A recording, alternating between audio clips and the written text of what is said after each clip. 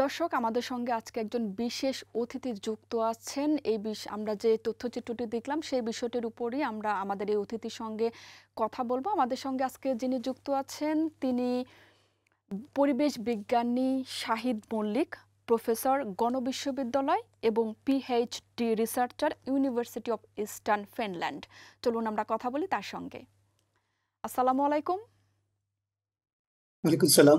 শুনতে পাচ্ছেন আমাকে? জি শুনতে পাচ্ছি। আপনি নিশ্চয়ই ভালো আছেন এবং আমাদের শুভ সন্ধ্যার আয়োজনে আপনাকে স্বাগত জানাচ্ছি।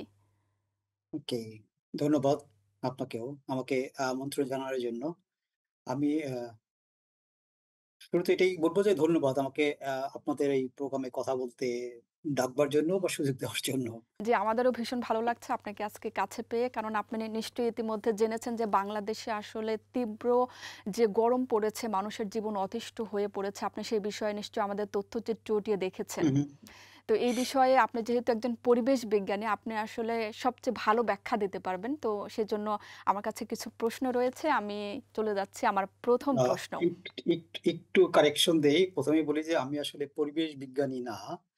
আমি সমাজ বিজ্ঞান নিয়ে কাজ করি পরিবেশের বিষয়টা একটার সাথে কিন্তু আরেকটা সংযুক্ত হ্যাঁ, আসলে। আপনি যখন তারপরেও ধরেন একটা বৈজ্ঞানিক ব্যাখ্যায় আমাদের মধ্যে এক ধরনের কনফিউশন দাঁড়াতে পারে যে পরিবেশ বিজ্ঞানী সমাজ বিজ্ঞানী হ্যাঁ আমার আমার কাজের সাথে সমাজ পরিবেশ জি সংযুক্ত জি জি। কিন্তু আমি পরিবেশ বিজ্ঞানী না আমি আমি সমাজ নিয়ে কাজ করি।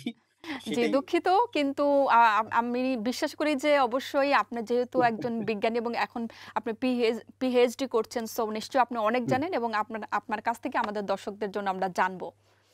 আচ্ছা। আহ, সেটি হচ্ছে আমি প্রথমে আপনার কাছে জানতে চাই আহ, বৈষয়িক তাপমাত্রা বৃদ্ধির সাথে সাথে বাংলাদেশে এবার বয়ে যাচ্ছে তীব্র তাপদাহ।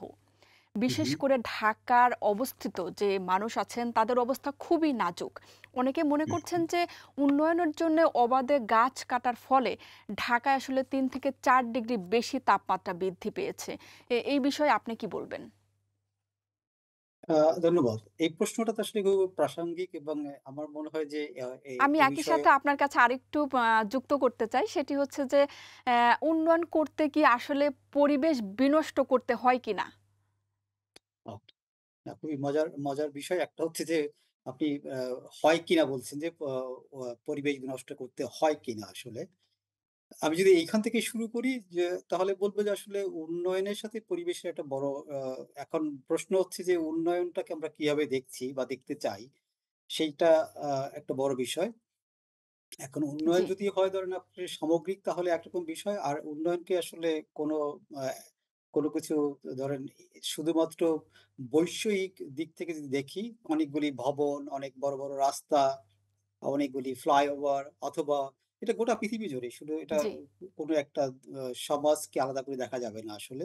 কিন্তু আমাদের মাথার মধ্যে উন্নয়নটা এখন ঢুকে গেছে আসলে যা আমরা দেখতে পাই দৃশ্যমান যেটাকে সেটাকে উন্নয়ন বলছি। কিন্তু উন্নয়নের সাথে অদৃশ্য অনেক বিষয় থাকে। যেমন ধরেন মানুষের আহ মনোজাগতিক ভালো লাগা তারপরে এখন যে অবস্থা দেখছি আমরা, যে উন্নয়ন করতে যে আমরা কি করছি আসলে, সেটা একটা প্রাসঙ্গিক বিষয়। আমরা যদি দেখেন যে আপনি যে প্রশ্নটা যদি আপনি আরেকবার বলেন আসলে, প্রথম প্রশ্নটা যে ক্লিয়ার করেন একটু আমাকে। জি, আপনাকে আপনার সাথে আমি যেটা বলছিলাম সেটি হচ্ছে যে এই যে তাপমাত্রাটা বৃদ্ধি পেয়েছে যে সেটা সেক্ষেত্রে কিন্তু বিশেষ করে ঢাকার অবস্থা খুবই নাজুক এবং অনেকে মনে করছেন যে উন্নয়নের জন্য অবাধে গাছ কাটার ফলে ঢাকায় তিন থেকে চার ডিগ্রি তাপমাত্রা বৃদ্ধি পাচ্ছে অন্য অন্য জেলার তুলনায়। তো সেই ক্ষেত্রে আমি আপনার কাছে এই জন্য জানতে চাচ্ছিলাম যে এই যে পরিবেশ বিনষ্ট হচ্ছে, উন্নয়ন করতে হলে আসলে কি এটার এই এই পরিবেশ বিনষ্ট করাটাই কি প্রধান উদ্দেশ্য বা হওয়া উচিত কিনা? না, আসলে পরিবেশের সাথে আমি বলছি যে প মূল বিষয়টা হচ্ছে যে আমরা আসলে আমাদের দৃষ্টিভঙ্গিটা কোথায়? আমরা উন্নয়ন বলতে কোনটাকে বলব? বা উন্নয়নের আ আমাদের লক্ষ্যটা কোন জায়গায়? কোন দিকে আমরা যেতে চাই আসলে? জি। এখন একটা হচ্ছে যে আপনার দীর্ঘমেয়াদী উন্নয়ন, আরেকটা হচ্ছে যে আমাদের সাময়িক ভাবে কিছু একটা কার্যক্রম করে আমি দেখছি যে অ্যা এই, এই বিষয়গুলিকে যেমন একটু আগেই বলতেছিলাম যে অনেক বড়, বড় গোটা পৃথিবীতেই হচ্ছে। ধরেন আপনি জি, নদীর উপরে বাঁধ দিয়ে আপনি পানি নিয়ন্ত্রণ করছেন। এটা উন্নয়নের একটা অংশ, তাই না? একপাশে আপনি অ্যা অনেক বেশি পানির প্রবাহ দিচ্ছেন, আর এক পাশে শুকিয়ে যাচ্ছে। যেটা, যেটা আবার কোনো ব্যক্তিগত বিষয় না আসলে। কোনো একক সমাজের বিষয় না। এর সাথে যেমন আন্তঃরাষ্ট্রীয়, আন্তর্দেশীয় আ এই সম্পর্কগুলি আছে। যেমনটা ধরেন আপনি আমাদের দেশে যে মনুকরণে যদি বিষয়টা শুরু করি আর কি পানি প্রবাহটা। একটা জিনিস কিন্তু খুবই মজার বিষয় আপনি আপনাদের প্রতিবেদনে আমি খেয়াল করলাম। যেটা হচ্ছে যে আপনার চুয়াডাঙ্গা নর্থ বেঙ্গলটাতে আপনার যে তাপমাত্রাটা বেড়ে গেছে অনেক বেশি। ঢাকা তো একটা ভিন্ন বিষয় অন্য বিষয়। কারণ ঢাকা আমাদের দৃষ্টিতে পড়ে এই কারণে যে ঢাকা দেশের রাজধানী। যে কারণে আমরা সবার আগে ঢাকাটাকেই দেখে পড়ে। কিন্তু ঢাকার বাইরে যে মানে তাপমাত্রা বেড়ে যাচ্ছে সেটা আমাদের দৃষ্টিতে আসে না। জি, জি। আজকে কিন্তু যশোরের সর্বোচ্চ তাপমাত্রা রেকর্ড হয়েছে। হ্যাঁ, কিন্তু ওইটা আলোচনায় খুব বেশি আসে না। কারণ ওরা ওই যে, কেন্দ্রে না, ওরা পেরিফেরিতেই বসবাস করে। এটা একটা বড় সমস্যা। আমাদের উন্নয়ন চিন্তারও এটা একটা অংশ। রাইট? তো আপনি যদি দেখেন যে ওই অঞ্চলে তাপমাত্রা বেড়ে যাওয়ার কারণটা কি? আসলে পানি তাপমাত্রা বৃদ্ধির সাথে কিন্তু আপনার পানির স্তরে একটা সম্পর্ক আছে বলে পানি বিজ্ঞানীরা বা ভৌ ভৌ মানে ভূতাত্ত্বিক বিজ্ঞানীরা মনে করেন আসলে। রাইট? সেটা কিন্তু একটা মিলে যাচ্ছে আসলে। কারণ এখানে যেহেতু আমি ওই বিজ্ঞানের বিষয় লোক না, কিন্তু যেহেতু তাপমাত্রা বৃদ্ধির সাথে পানির স্তরের একটা সম্পর্ক আছে, সেটা কিন্তু দৃশ্যমান হয়ে যাচ্ছে যে ওই অঞ্চলের তাপমাত্রা বৃদ্ধি হওয়ার কারণে আসলে।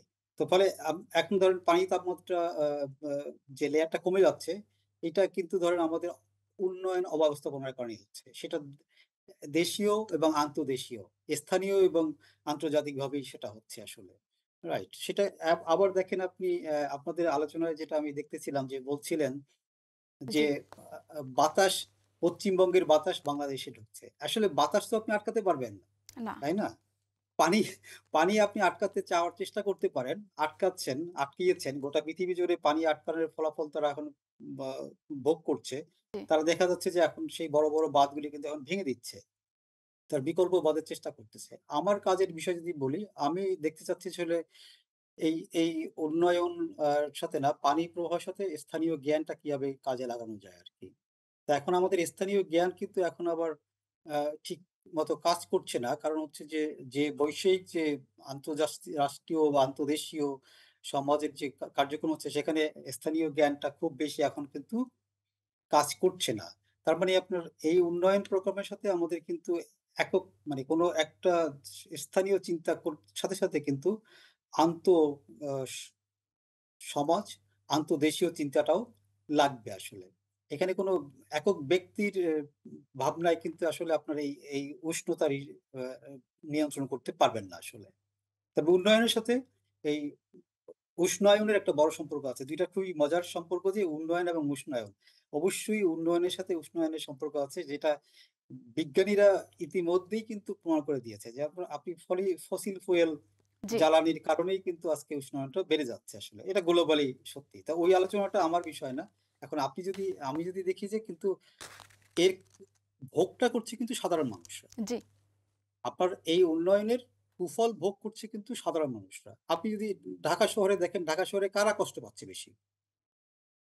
কোন ধরনের মানুষরা মানে স্বাস্থ্য ঝুঁকিতে বেশি আছে? অবশ্যই সাধারণ মানুষ। সাধারণ মানুষ। কারণ সে তো আর চাইলেই আপনার মতো আমার মতো একটা মানে অনেকের মতো এয়ার কন্ডিশনার একটা কিনতে পারছে না। সেখানে নিয়ন্ত্রিত ঘর থাকছে না। তার গাড়ি নেই। তো উন্নয়নের সাথে কিন্তু মানে এই বিষয়গুলি সম্পর্কিত যে আসলে উন্নয়নটা আমি কার জন্য করছি? তবে উন্নয়নের মূল বিষয়টা হচ্ছে কিন্তু আসলে অল্প মানুষের জন্য উন্নয়নের লক্ষ্যটা হচ্ছে আসলে।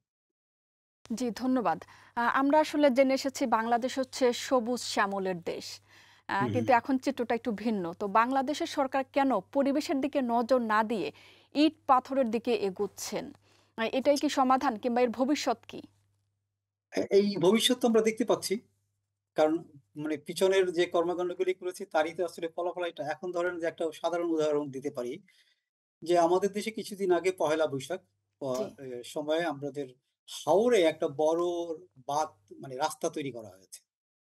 রাইট? এখন যোগাযোগের জন্য কিন্তু আমাদের রাস্তা লাগবে। কোনো কোনো সন্দেহ নাই।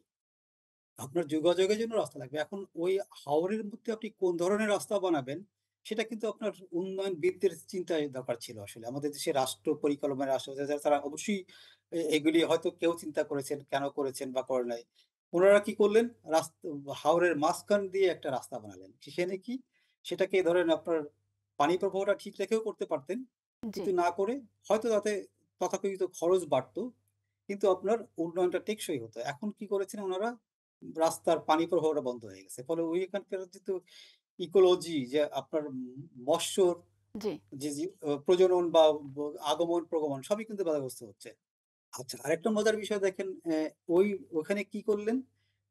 একটা বিশাল আলপনা করলেন আরকি। আলপনার সাথে আমার কোনো ব্যক্তিগত বা ইসে কোনো নাই। কিন্তু ওইখানে না করে এই পহেলা বৈশাখে তো আমরা অনেকগুলি ওই ২ পাশে হাজার, হাজার গাছ লাগাতে পারতাম। তাই না? সেটাও তো আমাদের পহেলা বৈশাখের একটা পৃথিবী জোড়া একটা ই হতে পারত। একটা সাইন হতে পারত, একটা সিগনেচার হতে পারত। রাইট সিগনেচার হতে পারত। আপনি এখন সিগনেচারটা কীভাবে করবেন সেটা কিন্তু আপনার চিন্তার বিষয় আসলে। কোন দিকটাতে আপনি দেখবেন। তো এখন তো ওটা না করে করছে। আপনি আমি দেখছি আপনার আমাদের সম্ভবত যশ নড়াইলে, জি। নড়াইলের স্কুলের বাচ্চারা সাইকেল চালিয়ে নববর্ষ উদযাপন করেছে। রাইট? একটা বিশাল সাইকেল রেলি করেছে। এটা পরিবেশ বান্ধব ইসে হয়েছে। এখন সেটা তো এখন এইটাই হচ্ছে চিন্তার বিষয় যে আপনি যে অনুষ্ঠানটা যে স আপনাদের যেমন অনুষ্ঠানটা আপনারা যে সাজিয়েছেন, জি। আপনাদের পরিকল্পনার ভিতরে নির্ভর করেছে সে কীভাবে সাজাবে আসলে। রাইট? সেখানে অন্যদের চিন্তা রেখেছে কিনা সেটা একটা বড় বিষয়। তো এই যে এটা উন্নয়নের সাথে আপনি এই আমাদের হাওরের মাঝখানে রাস্তাটা যদি দেখেন রাস্তা আমাদের অবশ্যই লাগবে। কোনো অবশ্যই নাই। হাওরে মানুষের যোগাযোগের ব্যবস্থা করতেই হবে। কিন্তু সেই যোগাযোগটার জন্য আপনি কোন ধরনের রাস্তা বানাবেন, সেটা কিন্তু সিদ্ধান্তের বিষয় আসলে। রাইট। জি, ধন্যবাদ। আপনার কাছে আরেকটু জানতে চাই যে এই যে, যে পরিস্থিতি চলছে, এই অবস্থায় আমাদের মতো উন্নয়নশীল দেশ কি ধরনের পদক্ষেপ নেওয়া উচিত বলে এখন আপনি মনে করছেন? একটা তো হচ্ছে রাষ্ট্রীয় ব্যবস্থাপনা, আরেকটা হচ্ছে যে ব্যক্তিগত সামাজিক বলি। তবে এখন একা একটা জিনিস কি দেখেন, এই যে কথাগুলি আমি বলছি বা আমরা আমাদের মতো অনেকেই বলছে, এটা আমরা সবাই জানি আসলে। ফলে এই জানা কথা বললে না ভালো লাগে না। তারপরও বলতেই হয় এই যে এটা কারণে। এখন ধরেন আপনার গাছের কিন্তু কোনো বিকল্প নেই আসলে। জি, অবশ্যই। এটা সবাই জানি আমরা আসলে। ফলে এখন তাহলে আমরা গাছটা লাগাচ্ছি না কেন?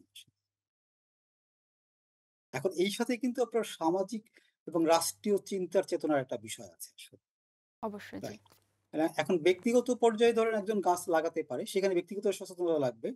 কিন্তু যদি আপনার সামাজিক এবং যদি একটা একটা ভাবে যদি একটা সিদ্ধান্ত গ্রহণ করে, সেটা একটা বিশেষ গুরুত্ব বহন করে আসলে।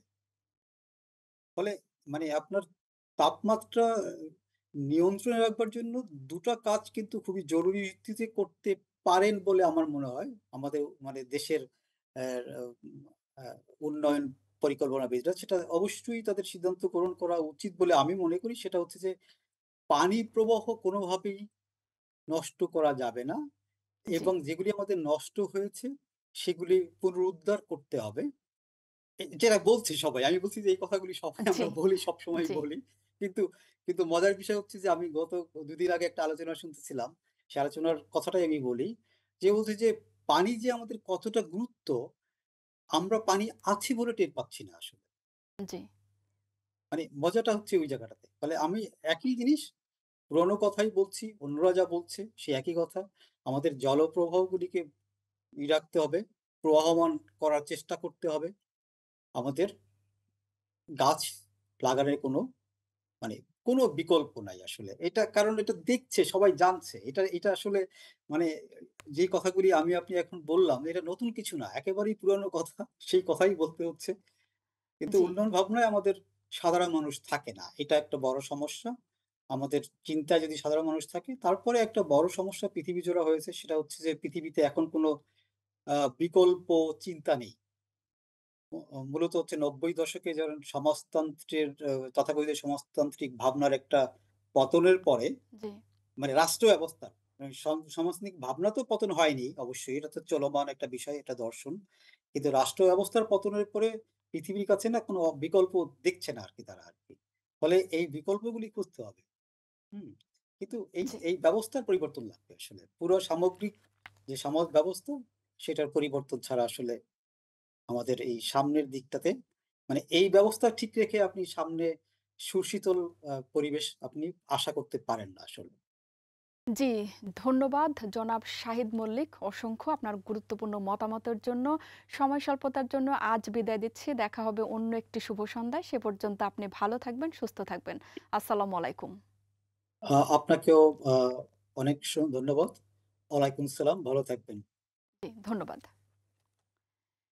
প্রিয় দর্শক, দেখতে দেখতে আমরা অনুষ্ঠানের একেবারে শেষ প্রান্তে চলে এসেছি। বেজেছে বিদায় ঘণ্টা আজ বিদায় নিচ্ছি। দেখা হবে অন্য একটি শুভ সন্ধ্যায়। কিন্তু তার আগে জানিয়ে দিচ্ছি, আপনারা যারা আমাদের এই অনুষ্ঠানটা মিস করেছেন, তারা কিন্তু আবার রিপিট টেলিকাস্ট দেখতে পারেন আজ রাত বারোটায়, আগামীকাল ভোর ছটায় এবং দুপুর বারোটায় Islam channel Bangla, Sky seven eight four এবং একই সাথে ফেসবুক। আজ বিদায় নিচ্ছি, দেখা হবে। আল্লাহ হাফেজ। Bye.